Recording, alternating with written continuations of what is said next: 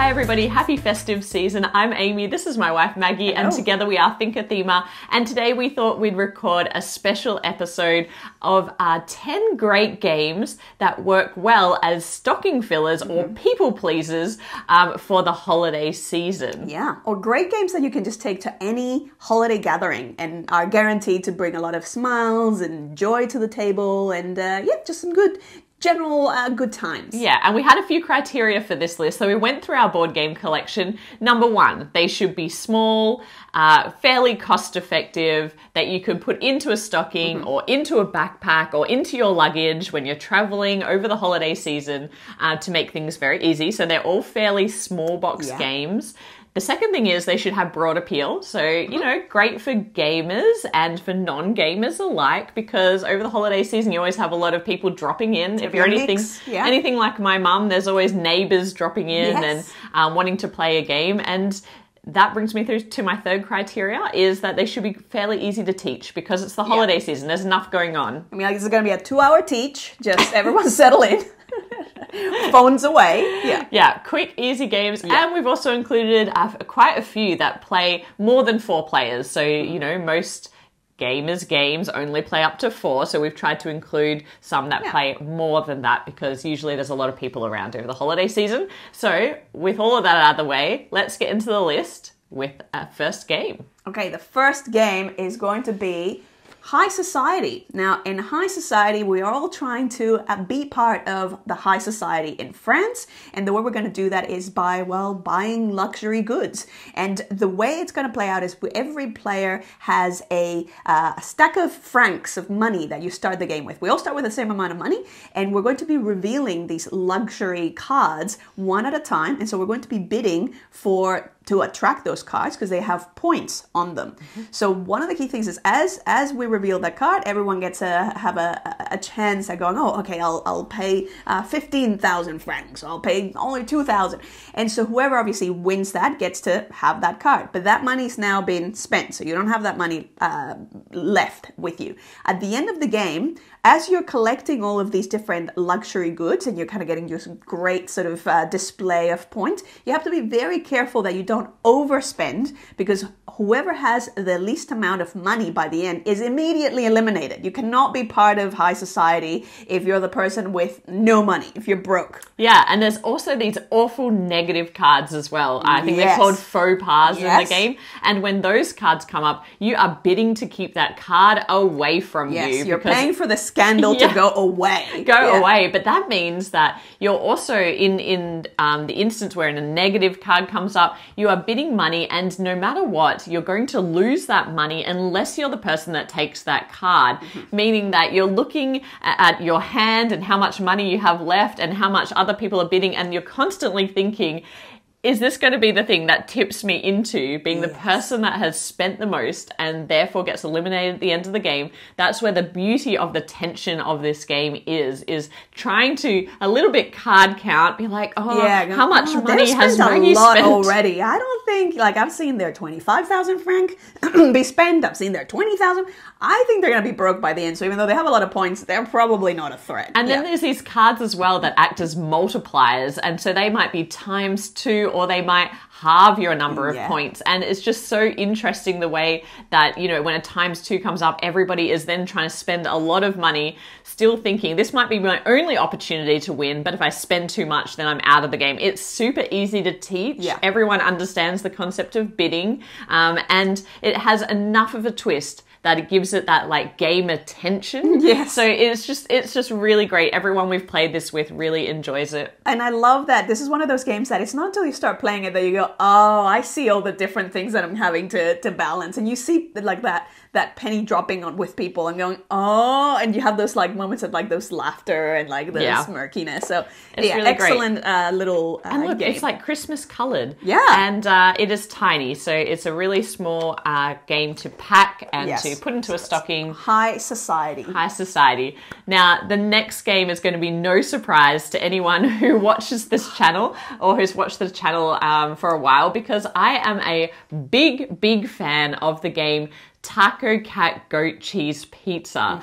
Um, now, this is a game which is a very light party game, but I've picked up the Christmas edition called Santa Cookie Elf Candy Snowman. And if you're not familiar with the way that the games in this series work, well, you're going to be uh, essentially chanting this saying around the table. And so everybody has a pile of cards in front of them. And uh, on their turn, they're going to turn the top card over, add it to the middle of the table, and say the next word in the sequence. So as it moves around the table, it's going to be Santa, cookie, elf, candy, snowman, Santa, cookie, elf, candy, snowman.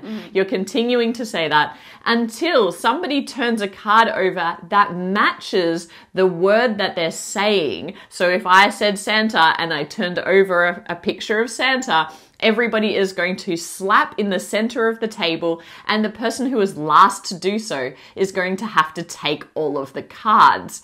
And that is hilarious because people's reactions can Yeah. be quite slow. There's always one person who just doesn't get it to begin with, and it's so funny. Um, and this game what I love about this series is it's so small of a game. It's great when you have a group of people who want to play something, but maybe they're not gamers, maybe they don't know each other, and it really helps to like break the ice and get people Yeah. laughing. Um, there's also these three special cards in here. As soon as I believe in this deck, there is a drum, and when a drum is played, no matter what, everybody has to hit the table and say, Rumpa bum bum. Rappa pum pum. if you're the last person to do that, again, you take the pile. Um, there's also Silent Night. When that card comes out, everyone has to say shh. If you're the last person to do so, you take the pile. And the final one is reindeer. When this comes out, you have to put up those reindeer antlers. And if you're the last person to do so, you take the pile. Mm. If you get something wrong and you maybe you thought it was Santa, but it's actually an elf, and you put your hand out there or you mm. flinch, Yeah. you're taking the pile. Yeah. And so it's a hilarious game of watching everybody calling them out on, you know, getting it wrong. And it's just light, fun, silly, Yeah. dangerous. Very dangerous. so that's the my one. Uh, as a health professional, I need to give this uh, health and safety disclaimer. I always house rule it that we don't reach for the middle to do the pile thing. We just like slap, right in, front, of us. and it's whoever slaps last that gets the gets the the penalty or gets the pile. Because my concern has always been the whole everyone reaching for the for the same pile and then mm-hmm. fingers doing this sort of stuff. And it was always just a hypothetical that yes, this can happen and I don't like it, so I'm not gonna do it. I'm gonna house rule it this way until we actually met someone who had a uh, taco cat goat cheese pizza related injury and yeah when we met them they like they had the whole uh Hand tapes, yeah. yeah so uh, yeah Be it- careful and then a lot of other people came forward saying, "Yes, Yes. I also have had because an injury." you know what's not fun over the holiday season? Sitting in the ER No. because you've broken a finger playing Santa Cookie, Elf Candy Snowman. Correct. Um, also hard to explain to the doctor. So don't do that. Yeah. Play safely, but this is a really fun little game. Um, what's next on the list? All right, so another one. Um, this one is another little box called Elevenses. So Elevenses, and I believe this is a, um, a reprint because I think it comes in sometimes a couple of different size boxes. They're both still um, small. In Elevenses, it's a bit of a different theme, which I quite like because it's all about morning tea. So we're having very sophisticated morning tea, and the way it plays out is we're going to be um, we have this display of uh, cards. So we all start with the same um, set of cards, um, and I believe they're from one to eleven. And so we start with uh, this uh, grid of four by two, so eight cards are face down. And we don't necessarily know which cards ended up being in that in that grid, but then we have the rest of them, the other the remaining three in our hand. So we do know, okay, these are the ones that we have to, to play with. Ultimately, what you're trying to do, all these cards, some of them have um, spoons, like a spoon icon or multiple spoon icons displayed on them. And at the end of the round, whoever has the most spoons will actually win sugar cubes. And the number of sugar cubes that you win will de- be determined by the number of players um, for that round. So sometimes you might win two sugar cubes if you're the, the person who came first, and then you might win one if you're the second, or but that will vary. So the way you're going to be playing it is every turn, every time it's your turn, you get to either swap some of the, the cards that you have on your hand with the cards that you have face down on your kind of display or you get to play a card face up. So when you play a card face up, it has they all have a, a specific spot where they have to go. Um, and so as you're playing them face up, people are going to start, well, that, that's, those are going to be the only cards that are going to count in terms of your spoons. But also people start kind of getting a bit of an idea of like, oh, okay, so Amy's already got, you know, two, three spoons um, displayed. So I better kind of catch up. The other added complication to this is that all those cards, as you play them, they have a special ability. So they might be, um, some of them are just to um, steal a card from another player or get another player to reveal the, the hand uh, of cards, um, or you get to peek at all of your face down cards. So you get to then potentially later on swap some cards so you can then open up one of the ones with more spoons. And then the round will end when someone plays the 11 card, which can only be played once you have at least four cards facing up in front of you. So that becomes the other kind of element of going, oh, they've already got four, and I think they may have their 11 in their mm-hmm. hand, or they might have four uh, showing, but their 11 might be still lost in their face down cards and they don't know where it is or they might have um, yeah that's the other thing is you can you can sort of swap cards um, around you never really get an 11 from someone else. But anyways that's how you play the game and it's just quite a fun experience uh, all around. Yeah and it's called Elevenses. You play the 11 because 11 is when you're meant to you know stop work and have your morning tea. Yeah 11 a.m yeah, yeah. 11 a.m so um, i love this. This game is actually a very relaxing experience. And so this game is perfect if you've, you know, overindulged and you've had a big lunch or mm-hmm. something, this is one of those relaxing, now we're going to have a cup of tea and just have kind of a quiet but still really fun and engaging yeah, yeah. game. And again, tiny, tiny little box, um, great for travel, um, a really great experience. It plays only up to four players yeah. though, so that's something to bear in mind with this one. This was one of those that Amy was so reluctant to play this. Like we had it, one of those games that we acquired, and then we had it. I wasn't reluctant. It was just for ages. Yeah, it wasn't prioritized yeah, in the games nah, we hadn't played. Nah. And then we played it, and she loved it. Yeah, like, I really did enjoy it. This is actually really fun. Yeah, yeah, really fun. That so is 11, Elevenses. C's. Uh, the next game is a game called Parade, and again, this game plays up to six players, um, so another good one for a group.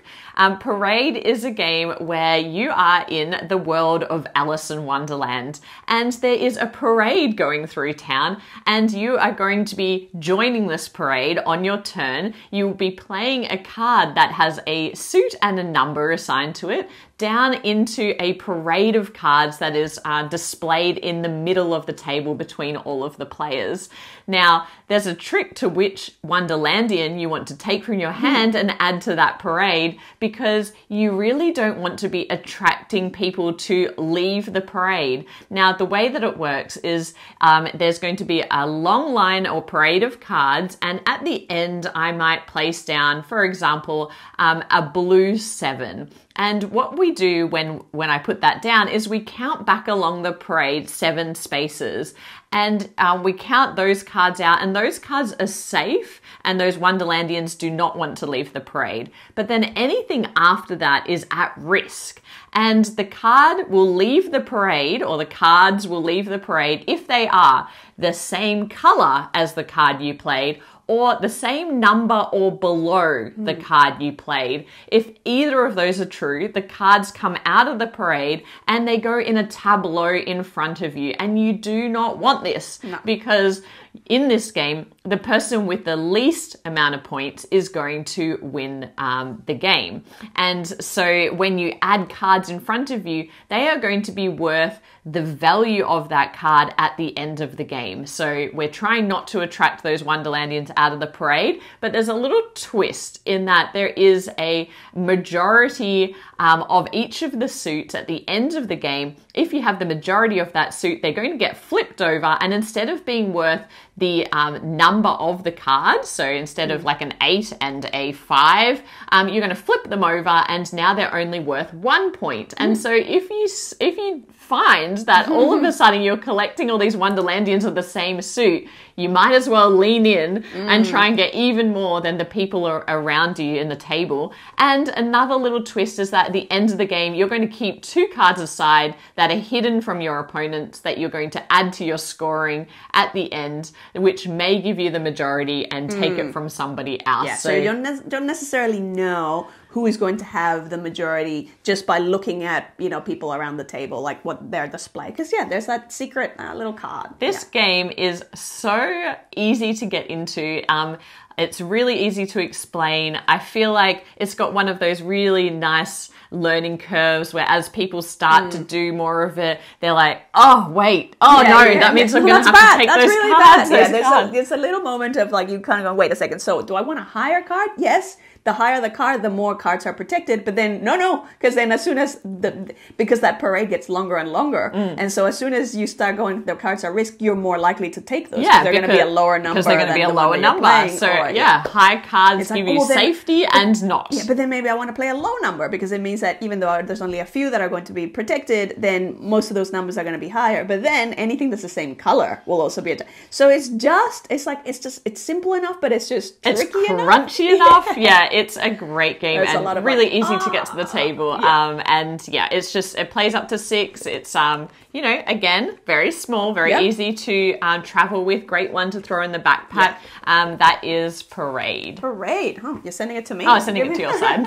All right. So the next one. This one is a little bit crunchier, a bit thinkier. This one's Village Rails. It's a relatively new game. So in this game, um, again, I love the, the tagline, a game of locomotives and local motives. Because what you're doing in this game is you're going to be creating uh, little rail uh, networks. And so the it's very simply, it's sort of like a, a multi-use card game. You have this little grid where you're going to be playing cards into your grid either on a you're going to be um, collecting and like drafting and then playing cards that are a track side. And those track sides have a terrain type and often a couple of different um, uh, scoring conditions. Some of them are uh, scoring conditions based on like a set collection of things or a variety of different types of terrains or just they might just have a set number um, um, victory point number on them. And so the interesting thing with this is you've got the rail track that you're creating um, that scores when you end up uh, exiting. So when it reaches from one of your starting point through to an exit point, and that could be just one single card,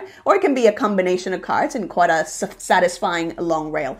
The other element is your trips. So throughout the game, you have the option of purchasing these trips, which are essentially the other side of the uh, the cards, where they have a little uh, locomotive uh, showing uh, on them, and they've got set or specific scoring conditions that will give you additional points if you manage to uh, place them or kind of bank uh, on a one of your particular areas that that track is going to meet that that set of conditions. So you kind of have to anticipate or plan ahead. It also has this element of as you're uh, drafting cards it's got this element of you're putting if you don't want the first card which usually the first card with the tracks is free um, if you don't want that one, you're going to be leaving coins um, along the way until you get the one that that you want. But then it means that those cards that are left behind have coins on them, which are very important because the coins are what you're going to need in order to be able to purchase those trips for additional points. So very simple concept. But it's so thinky. It's It got is, yeah. so many. It's fairly easy to like you know set up and get going, but it's got so much crunchiness in it, and again in a really really tiny box. Yeah, it is a lot of game in a Mm. small box, and it's one that it, it makes intuitive sense for Mm-hmm. uh, like maybe someone who's newer to gaming because essentially all you're doing is filling out a four by three grid. Everyone is going to be able to place all of those Mm. um, track tiles or track cards down to. Um, to you know take uh, trains from one side to the other. Like very very straightforward. But then if you want to challenge yourself to get those point cards and to get synergies between the types of tracks that you're making because the tracks cross each other. Like it's just a lot to think about if you want it to be more complex. So it's a great little game to have on you um, to satisfy, you know, people who are more into gaming. Yeah. So for example, at our family Christmas, um, we also play games, you know, with my brother and sister who are pretty pretty well versed in gaming because of us. So something crunchier yeah. as well. Yeah, Yeah. So something a bit more challenging, um, and that is Village Rails. I'll put this one over Oh, this side. that. this Now we're, now we're even. All right, so now we go to your side. Yeah, so back to more of a um, beginner friendly game. Um, Silver and Gold is a great entry level roll and write. And um, in this roll and write, you are going to be looking for treasure on different islands. And the way you're going to be doing that is by drawing out different uh, polyomino Tetris style shapes onto different islands that you have in front of you. These are little islands that are essentially white, made out of whiteboard material so that you can use these reusable markers and mark off the shape onto those. When you complete that uh, each of the islands, they're going to give you points at the end of the game, but it also means that you get to draft a new island from the supply in the middle of the table. The way that the game works is fairly clever because there's always going to be um, the same shapes that are going to be appearing each round minus one. So we take a mystery one out of the deck, um, but we know that the probability of getting certain shapes Yeah. um, becomes more and more certain as we get closer to the end um, of that deck. And the other thing that you're going to be doing is uh, trying to race for some objectives. So one thing that is uh, really important is collecting coins. So if you cover off a coin on the island, you're going to get to add it to your little coin bank, and at a certain time, you're going to be able to collect a trophy. And when you collect a trophy, if you're the first to do so or earlier to do so, you're going to get more points for doing it. Um, the other fun thing is when you cross off an X, it acts like a combo, and you get to then cross off another um, square bonus anywhere. yeah. yeah, anywhere in your islands, which can really help you if you maybe haven't placed the shapes perfectly and you've got a remaining space left. Which will inevitably happen. You end It up with a little happen. square over here, a little square over there. You're like, oh, No, oh, gonna phew, thank goodness? I got Yeah. that little X. Um, or there's a um, palm tree as well, and that one's really interesting because when you cross that out, you score according to the number of palm trees that are shown on the islands in the market. This game is super simple. It is really, really easy to get into. Everybody, and gamer and non-gamer alike, understands Tetris pieces, understands crossing them off and rotating the shapes um, on these islands. But there's something just delightful about this game because Very it's satisfying. so satisfying. Yeah. As you cross off, um, you know, one of your islands and you get to, you know, get a new island, it's just fun to challenge yourself to see how many of those islands you can get through. Very relaxing. Like it's one of those, like you know, you're sort of, sort of doing your drawing Yeah. sort of thing, crossing things off. And Again, a full stomach, um, just a really relaxing game. yeah. Um, the, it plays only up to four, um, but also the uh, markers that come in the box are some of the best excellent, yeah. best um, roll and write markers that we've ever reusable markers that we've come across. Hmm. So um, it's just a delightful game, you know, cheap to pick up and uh, really light to carry around or to give as a gift. Um, so that is silver and gold. Yeah, nice. So the next one, it's a bit of a crunchier one as well. So this is Cat in the Box. So in Cat in the Box, this is a, a trick taking game, which you know, if you're not familiar with trick taking, it's all about you know what you, you usually have um, you a lead uh, suit, and whoever ends up playing the highest value card of that suit will win, unless there's often a trump suit, whereas like it doesn't really matter like what you know the values that are being played. If you play the trump suit, then it's whoever ends up playing the higher value in the trump suit. That's basic trick taking. In Cat in the Box, however, it's interesting because it's all based around uh, Schrodinger's, I can never say it correctly, Schrodinger's cat. This whole uh, concept of, you know, if if you haven't, if you have a cat in a box, you know, are they alive or are they dead? You don't really know, and it's technically both until you open the box and you have a look. And so in this in this game, what happens is all the cards have no suit, so all their suit are potential until you actually play it. And then at that point the suit gets uh, gets decided. So all the cards have a black suit like a black cat. And in the middle you have this uh, this little table where this is where you're going to be allocating uh, and blocking off the the suit and the number as you start playing them. So the way it works is you have a little uh, kind of little card um, on on the side, which is where you're going to be determining. Okay, I'm going to be playing this. So say for example, if I'm the first player and I've got a three, a number three, I'm to go. I'm going to lead with a three, and then I'm going to put it next to green. So this is going to be a three green, and then I mark that off with my little token in the central board, which means now no one can play a green three for the rest of this whole round. Yeah, so the um, the board in the center of the table represents the deck of cards essentially, Yes. and you are marking them off by um, just re- revealing and stating Yeah. what color card that is. Yes. So as we're going around and we're playing, that that central board starts to get you know more more and more crowded, and a lot of spaces are gonna start getting taken up, uh, and so you will potentially get to the point where you go, uh oh, with the cards that I have and what I would need to play, there's nothing because we there's more cards, um, more of the number of each number of cards than there are available in that right. Central. there's only four on the board, and there's Board, five yeah. of each number in the deck. So if that happens where you go, uh oh, I actually can't play a card, you cause a paradox, which is very, very bad. You do not want to do that. So when a paradox is caused, that ends the round. And now for every trick, so if you're the one who caused the paradox, every trick that you have won, which usually is one point, is now going to be negative points. As an additional uh, complication, you have this um, this ability to guess at the start of before you start kind of playing the round. Have a guess at how many tricks you're going to win for that round. And so if you do manage to hit that, then you have a bonus um, bonus points based on the adjacencies on that central board of all your tokens kind of matching together. So your largest group of adjacent uh, tokens, which is actually a lot harder. It's than very it's- difficult to do. yeah, Yeah, because you're because you're trying to win tricks as well, and so you're like, oh, but if I go there, I can link up my points. Yes. But then I need to, you know, I've gambled that I'm going to win three Mm. tricks, so I need to also win. So it's it is like a, it adds another layer, and that is what I actually really appreciate about this game. Is it's called a quantum trick taking game, and if you look at it, you might think this is a gamer's game. Mm-hmm. But what's really interesting is if you just take it for what it is, in that I just want to get rid of all my cards and not cause a paradox and just keep putting those tokens down where wherever as long as I can do it.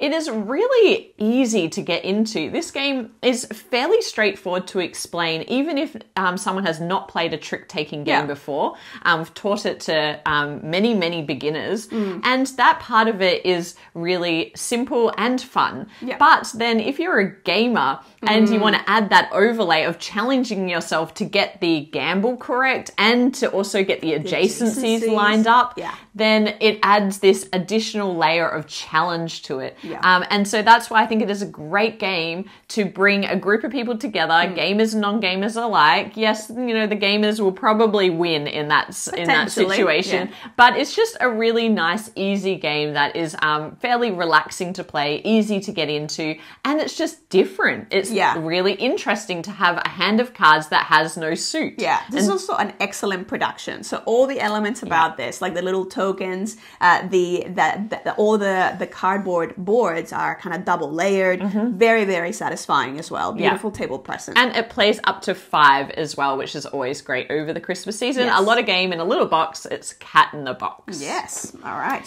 Now, the next game, it goes from slightly more complex to something so simple. Super simple. Super simple and ridiculous that it's one of those games that you could just have on the table, at the side of the table, for when someone says, Do you think we have time to play a game before the meal comes out? Yeah. Yes, we have time to play Crossing, and I can teach you in one minute. Um, so, in this game, there is going to be mushrooms laid out on the table, and on top of each one of those mushrooms is going to be a collection of gems of different colors that will be randomly pulled out of a bag and placed on top of those mushrooms. At the same time, everybody is going to count down three, two, one, and point to one of those mushrooms if they like. If they're the only per- person pointing to those uh, to one of the mushrooms, they are going to get all of those gems. But if multiple people point to the same mushroom, nobody gets the gems. Yeah. Now, when you do get the gems, you get to add them to your little um, hub. You've got just this little player token, and you're going to collect all of your gems on there. As the round goes on, instead of pointing to uh, one of the mushrooms, you can point to your opponent's collections of gems. steal them. And if you're the again the only person pointing to those gems and they're not protecting them, you get to steal all of their gems, which is very very mean. But if you want to protect your gems, instead of pointing to anything, you can cover your gems to bank them. And if you've covered them, nobody can steal them in that round. You also get to bank them by putting them aside for the end of the game. They're now safe. safe. But you have to flip over your player token, which shows that now you are out for the next round. So you can't collect any more gems for the rest of the round. Well, you're Such off a putting your gems away, so that makes Yeah. sense. You're not available this time around. Yeah. Yeah, which means that is a little bit of a trade off because there might be a lot more gems Mm. to collect that round. Um, at the end of the game, you're going to get points for each um, set of the different colors that you get, as well as additional points for leftover gems um, and the special clear gems as well. So um, it is a Mm. Super silly, simple game, which shouldn't be as fun as it is. It really is. Okay, I'm known for not enjoying fun games, but this is one that is like, it's just so simple and so silly that I'm like, yeah, like this is fun. This is Yeah. funny. And you can play it over and over again. I've taken this game to work and it's really easy to just play game after game after game because you don't really have that much attachment to your gems, but it is hilarious when, you know, someone steals things or everybody goes for the same one and then or you think you're really clever because you've just collected all these gems but someone's stolen all Yeah. of yours. Um, and when people have to sit out the next round when because they've protected their gems. It's just super simple and easy. It's a little hard to come by, so um, we debated putting this on the list, but hopefully you can find a copy if that sounds like something for you. This is Crossing, and it plays up to six players, and yeah, it's just a game. It says 15 minutes on here, but I think it's probably even quicker than that. So it's just a game to play in between other games or in between meals or Yeah. whatever the case may be over the holiday season. So that is Crossing. Nice. Next game is a little game called Kites. Now, this is not a relaxing game. This is a game where you're trying to keep kites up flying and we're cooperating. So we're all going to be working together to make this happen. The kites are um, sim- symbolically uh, represented by uh, different sand timers of different colors. And so as we start flipping them, the whole idea, like the if the sand timer hasn't run out of sand or time, it means the kite is up in the air. So we have to be able to be very communicate very chaotically, but hopefully clearly enough that we actually, as we're going around the table, we're playing the cards that match, that have the the color kites on them that match a color um, sand timer that needs to be turned because otherwise it's going, it's about to run out what what what makes this complicated is some of the cards actually have two colors on them. And so you have to you know you're forced you might you know we might really want the blue kite but it turns out that mine has it's the i have blue but i also the card that i have has blue and red. And maybe the red is one that i don't want to turn. And so it's like well, maybe someone else can do it because I'm, I'm and so so it becomes this sort of very tense very energizing. We play this at like one in the morning when everyone is just so exhausted and then by the end of it everyone's so like okay i'm awake i can i can go for another another two hour game now um, because it's just so chaotic and so stressful but also so fun and because you're all kind of playing together is that whole we all either win together or we lose together Yeah, because if you let any one of those sand timers run out, then you lose as Oh. a group. Yeah. Um, and it's uh, very sad, especially if it happens towards the end of the game where you've kept them up in the air for so long. Um, but I do really enjoy this game. You do have to be communicating the whole time.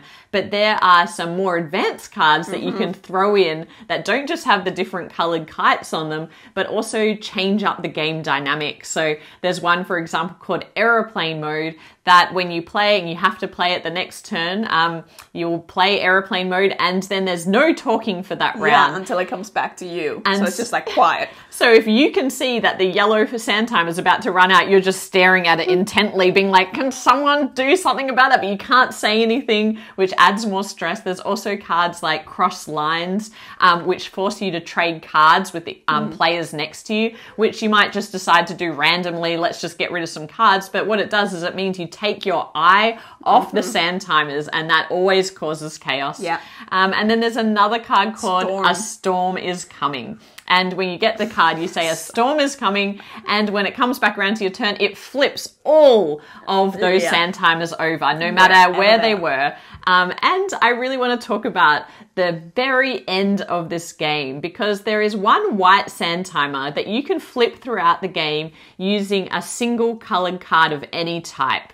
And so you're constantly looking at that kind of wild um, sand timer and flipping it. But when the deck runs out, because as you play cards, you're drawing up a new card, when that deck runs out, you're almost at the end of the game. Everybody now just needs to get rid of the cards in their hand, and then you've won the game. But at that point, when someone takes that last card, you can no longer flip the white hmm. kite or the white sand timer, which means you've got until that white go, go, go. until it runs out to get rid of everybody's cards in their hand, and that is just so chaotic and the perfect end Yeah. to this chaotic, crazy, fun game. I really, really, and this came out this year. Get your hands on it if you can. Great party game. Very loud though, so you Quite don't want to play it when you know it's like people have just gone to bed, and you know it's like that's not That's not the time to bring unless out you kite. can kind of play it somewhere far away where it's fine, where you you know you're kind of being loud and making making noise. Um, the other thing is it's it's very stressful. Like it's gonna get the adrenaline pumping, so probably again not a good one right after a big meal because you'll probably quite definitely give yourself um, and those around you indigestion. So again, the Yeah. health professional in me says, yeah, need to warn you about that. but it is a really energizing, fun game. Yes. Um, again, you know, game night around the holiday season, perfect game for that. Um, that is kites. Kites. And the final game that we have for you on this list of 10 is another new release called Doodle Dash. Now, this game is interesting because it reminds me of a game that I almost put on this list again called Just One. Mm-hmm. So, side note, a game called Just One. We had it on another one of our, um, you know, festive season Yeah. lists. We've talked about it many times, um, but this is kind of the Pictionary version Hmm. of that game because what you're doing in Doodle Dash is um, you are going to be putting a card up in front of you so that everybody else can see that card aside from you as the, The as guesser. the guesser. Um, all the other players have a little easel and a pen, uh, reusable pen marker, and they're going to have to draw whatever the word is that is shown. And you are going to have to try and guess that word based on their drawings. But the way that it works competitively is quite interesting. There is a cylinder um, block that sits on the middle of the table, and everyone is furiously trying to draw, for example, let's just say it was a dog. Everybody's trying to draw this dog. As soon as you think that you know the guesser is going to be able to guess your dog Like, based it's good on enough. It's good, good enough. enough I've done a stick like stick dog, and it's good enough. You grab that cylinder, and uh, when you grab that cylinder, that means that they are going to look at your picture first and to try and guess the word dog. Mm-hmm. Um, but what happens is everybody continues drawing until the second person decides that you know what, my dog is good enough now. I'm going to stop um, drawing as well. They put their pen and picture down, and then they grab a die and they start rolling it frantically. and everyone else gets to continue drawing until they roll the um, little symbol that means pens down, everybody Stop. stops drawing. And then what we do is in that order, so the person who grabs that cylinder uh, block first is going to simply show the guesser their picture.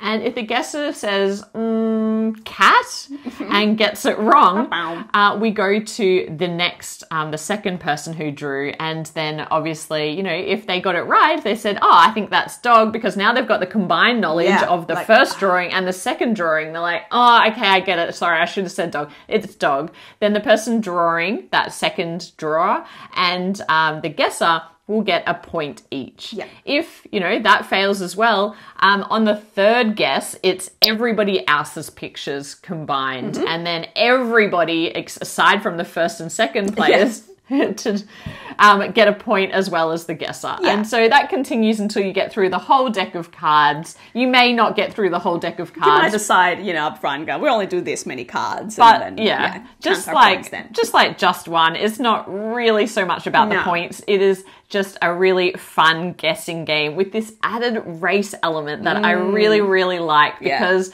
it's not just drawing the best because I'm not the best artist. I'm nowhere Oh, near the I best artist. terrible. You are quite terrible. Hilariously terrible. Known for being very, very bad at anything like drawing related. But I like the way this works because if you are overconfident with your drawing, you know, you're like, yeah, that's great. I'm going to do it really fast and grab and be Mm. the first guess. While everyone else, if they want to, can take their time and be a bit more artistic and just hope that your dodgy dog drawing Yeah. is not going to be guessed correctly. Yeah. So um, that is Doodle Dash, another great one. Slightly bigger box, but you know it does play up to um, seven people. Hmm. Um, so just another one of those great games to have around when there's a bigger group and it's just everybody knows Pictionary. It's Pictionary with a little twist. Yeah. Um, and it's slightly different to just one. So you know a lot of people would already have that in their collection. This one's an interesting one to look at, and that is our uh, ten great games for um, filling stockings or for Mm-hmm. taking on your festive season travels with you. Crowd pleasers. Yes, I love this list Yeah. um, because I love. Well, they're more your they skew more play like social interaction, play. fun sort of. But I still like it's still any of these games I would happily play But- at least a couple of times. But tis the season to bring joy to other people and to have just these fun, memorable experiences. So we hope you enjoy this list and you can get some of these games to your table. Thank you for watching. If you liked this video, please hit like, subscribe to the channel if you haven't already, and we'll be back with more board game content soon. But otherwise, bye for now. bye.